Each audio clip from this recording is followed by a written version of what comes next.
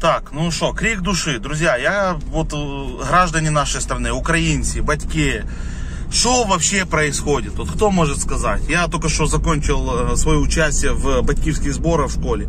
И с э, просто невероятной радостью узнал, что мы опять уходим на дистанционное управление, на дистанционное уничтожение детей, умов, просто обречение детей на бомжатство, я не знаю, на нищету, на голод. Э, Просто крик души вообще. Я не понимаю, в какую сторону биться.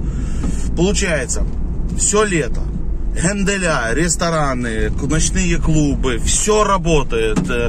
Ибицы, шмибицы, все работает, нету коронавируса. Сейчас только сентябрь, полторы недели, только мы выдохнули родители, что дети пошли трошки э, с детьми в общество, что-то учить, э, жить просто, жить по-человечески. И опять нас посылают в тюрьму, заточение, и мне просто страшно. Я реально не готов учить с детем делать уроки, потому что э, мы не должны этим заниматься. А, во-вторых, с этого толку ноль. Я вот тут спрашиваю родителей, у которых дети там отличники у нас, они спустили все на ноль. Никто ничего не знает, преподаватель э, тоже э, потерял зрение, да, потерял нервную систему. И самое главное, знаете, что интересно, народ? Это то, что вот эта вот новая система, она подразумевает, э, что мы будем все-таки вот дистанционно обучаться. То есть это уже закладывается. Э, дальше, э, перехід на українську мову. Е, Обов'язково е, дож- повинні всі е, навчатися на українській мові. Вот государство приняло это, да, а мой ребенок до пятого класса учился на русском.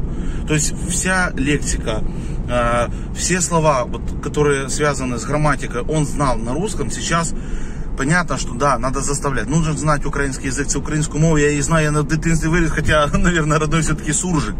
Но, друзья, вы понимаете, как как нам, родителям, смотреть на этот ужас? Родители всей Украины, давайте как-то просыпаться, давайте что-то делать. Я не знаю, до чего мы доживемся. Мне, как мужчине, страшно. Э, Смотрите, э, ребенок ходит в школу, у него какая-то первая любовь, э, какие-то первые драки, выпускные, все эти дела. Нету, у детей забрали. Так они вешаться будут скоро прыгать из всяких э, девятых этажей, потому что им э, жизнь с телефонами, она же надоест, она же уничтожит, э, вы- выгрызет все. Что это за онлайн, что это за онлайн жизнь? Ну, поигрались мы. Смотрите, какая ситуация еще. Обязательно должны быть привиты все преподаватели, да. И тогда как будто бы они откроют. Ну, а нельзя, ну, я не знаю, как-то пойти навстречу. Я вот интересовался, честно вам скажу, у докторов, которые сейчас с коронавирусом, говорят, тишина, слава богу. Вот. Ну, получается, что летом, значит, можно болеть, э, не болеть коронавирусом, а как сентябрь, так это, ну, эпицентре все будет работать опять. Э, ну, что это такое, друзья? Давайте как-то реагировать. Я прошу, распространяйте видео. Э, не для моего какого-то пиара, боже упаси. Я просто хочу понять, я один такой лох вообще, вот это разговариваю сам собой, или же, или же мы ну, какие-то стадо баранов.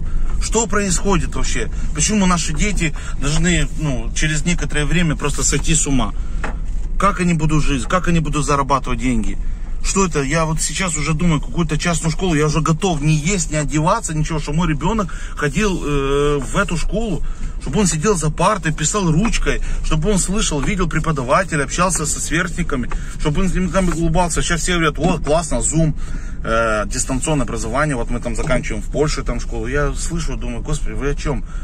Вы что, школа это что, только образование? Школа это еще жизнь.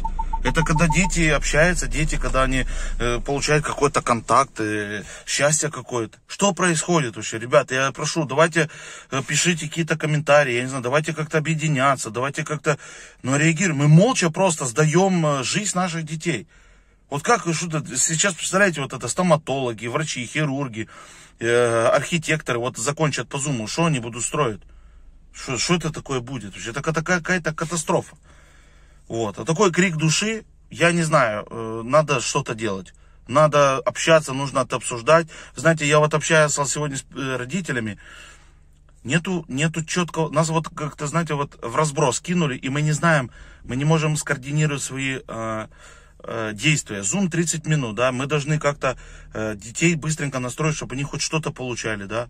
И я общаюсь, а родители все в разброс. Да, это ерунда, да, как это сделать. Я предлагаю какие-то варианты, понимаю, что м, толку нету. Поэтому я думаю, что какая-то реакция наша должна быть, очень жесткая, четкая. Мы должны как-то говорить власти, что как так, почему летом можно гульбенить и бабло зарабатывать по увеселительным заведениям, все должно работать, а как только сентябрь, все капец. Ну как это так? Что-то, ну как-то надо, не знаю, ну, все теперь, коронавирус уничтожил всю жизнь. Да мы от коронавируса больше получим, получается, э, негатива, чем от, от самой болячки. Болячка есть, конечно.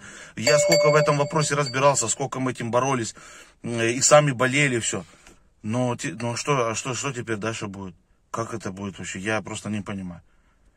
Господи, помоги Господь всем нам. Давайте что-то делать, друзья, и молиться, и трудиться, что детям нашим будет труба. Будут в альфаторах искать еду, еще драться за эльфатор.